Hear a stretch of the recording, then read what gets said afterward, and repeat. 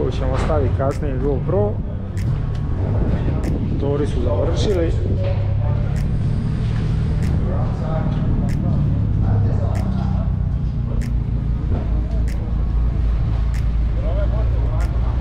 Evo jedan jako brzi Megan ispod 1.40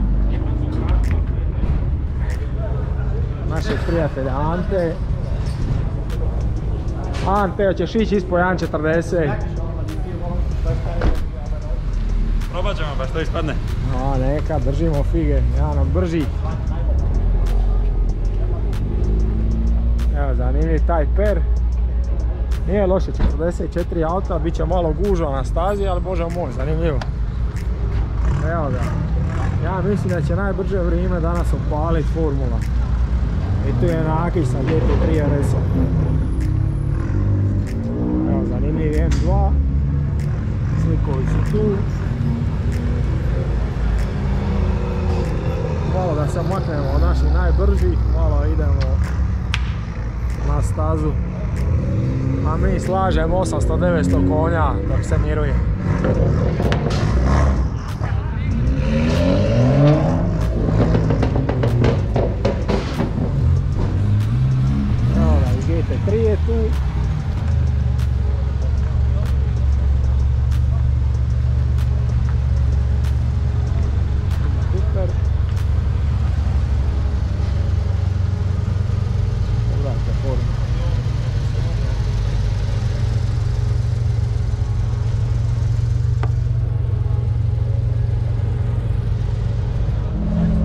Da vidimo ovo čudo kako se pali.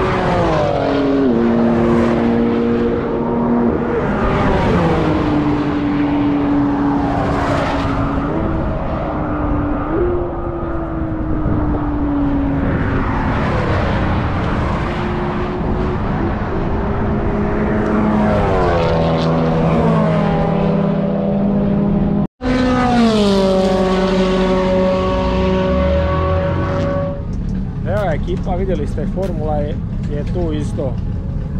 Ima jako zanimljivi auta, 44 auta su. Jedan GT3, GT3 od DRS-a Nakića čekamo. I naravno vamo dolaze Francuzi do izražaja. Evo ih. Megane, ipak su oni za stazom. Nas hejtaju na street race ali evo ovamo dolaze oni do izražaja, tako eto, su bar, naravno šala mala, stvarno su auti top, evo skoro me i kamion zgadio. Tako, nikad nije dosadno na grobu. Kasnije ćemo vidjeti taksi i kasnije ćemo objasniti koliko košta da vozite na grobniku, koliko što to sve dođe i tako da imate sve informacije na jednom mjestu. I drago nam je da ovo sve popula- popularnije, bez razloga toga da se što manje divlja na ulicama, nego ko ima muda lipo dođe vamo, Evo, staza je tu za svakoga, mjerila su tu ista i pokaže ko kako vozi. A ne snimanje po naseljima i po ulicama. Evo. Vamo nek vam bude mjerilo za budući.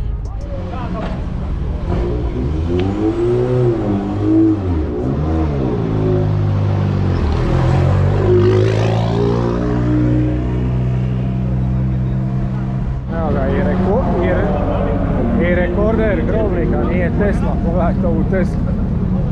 Evo možete vjerovat Tesla. Evo vamo rekorder grobnika. Ispod 1.30. Auto dora dorađeno.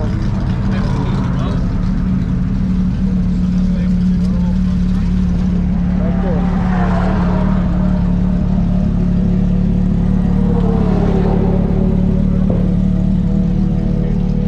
Oni formula su tu negdje.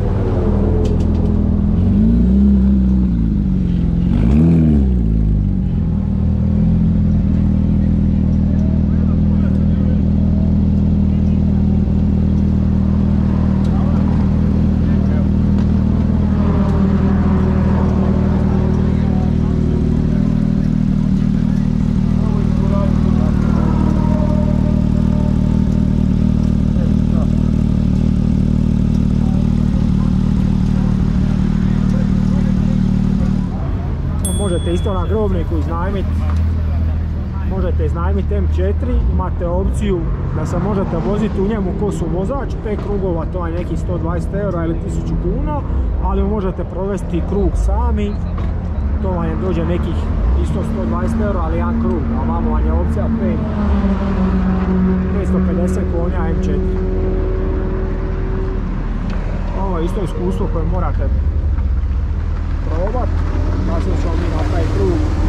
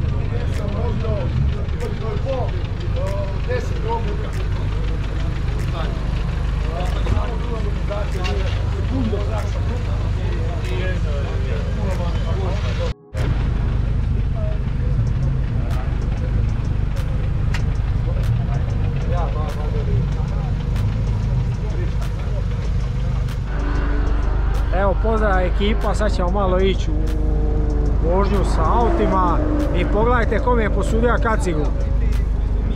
Je vam poznata kaciga? Od Tea je kaciga, tako da Teo hvala ti i ništa, sad ćemo malo snimat iz automobila, idemo sa Meganom RS-om od 310-320 konja i onda ćemo najvjerojatnije sa M4 i GT3 RS.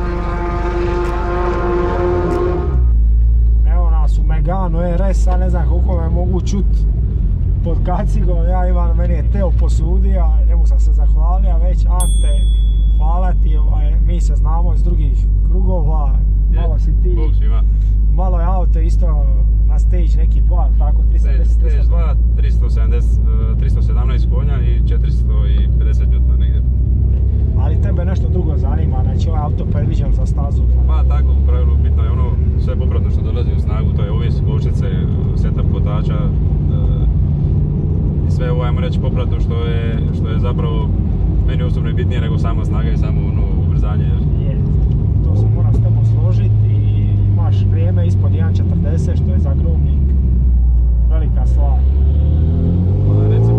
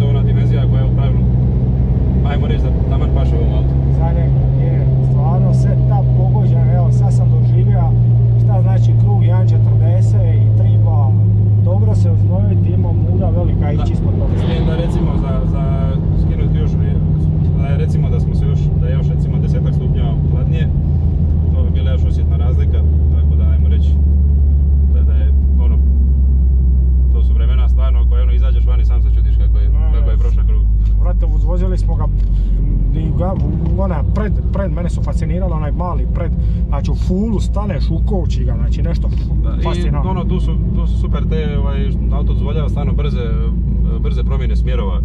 I tu je zapravo ta težina E, najbitnija. to, pravo, da on to. jednostavno lako skreće lijevo, desno, što god To ti zamisliš napraviš, bez, napraviš bez, bez puno, ovaj, To me baš fasciniralo. puno ovaj, muke. Ante, hvala ti puno na ovom iskustvu, nastavi me gleda kao što i do sada Apsolutno, jesi. kao i do sada. Kao i do sada, podupirat ćemo, nema problema. Može, i viđat ćemo se na grobniku, tako... Apsolutno, i ne samo na- na grobniku. I nas se novom vremenu bolje od tebe Da. i... A vidjet ćemo nekakav cilj, je, trebalo bi ovaj, malo doraditi ovis, ima nekih planova i to cilj bi treba biti, ajmo reći, 37-900 odvesti, što mislim, što mislim da nije nemoguće, tako da, Ma blizu si ti, mislim, s tvojom vožnjom i ovom stvarno fascinirano. to je nekakav, nekakav cilj, a vidjet ćemo, mislim da nije nemoguće, samo treba, koji u svakom sportu treninga i to je to. Je, ništa, evo ti sretno jedanput. i vidimo se. Eto se. ekipa, najse smo živali manualac, auto prihvatljiv svima, znači 300 konja, dorađen, znači ne znam šta da vam kažem. Ostavite lagan, idemo dalje. Vidimo se. Pozdrav ekipa, dobro došli na projekt Cars Tuning. Danas imamo 10K specijal. Da, nalazimo se na grobniku i imamo nešto specijalno iza mene, pogledajte. GT3 RS, ali ne bilo koji. Mindhind Racing prerađen.